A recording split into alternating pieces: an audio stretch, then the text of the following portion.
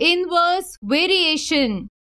In this type of variation, an increase in one quantity leads to the decrease in another. Example 1. If one worker requires 12 hours to complete a job, then two workers will need less number of hours to complete the same job. Thus, as the number of workers increase, the number of hours required decreases. This is inverse variation. Let us consider another example. 2.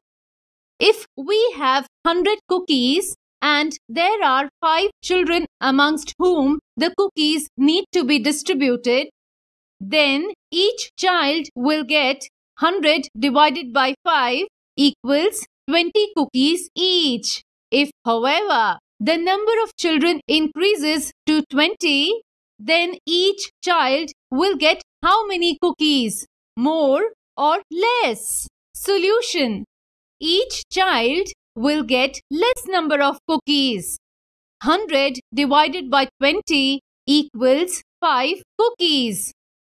Thus, as the number of children increases, the number of cookies corresponding to each child decreases. This is inverse variation. To solve the problems of inverse variation, we will use unitary method. Example 3. If 32 men can reap a field in 15 days, in how many days can 20 men reap the same field?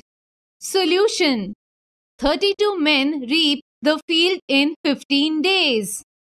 Therefore, one man will reap the field in 15 into 32 days.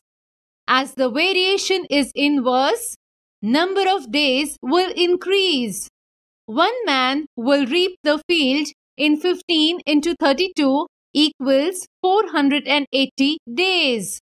Therefore, 20 men will reap the field in 480 upon 20 equals 24 days.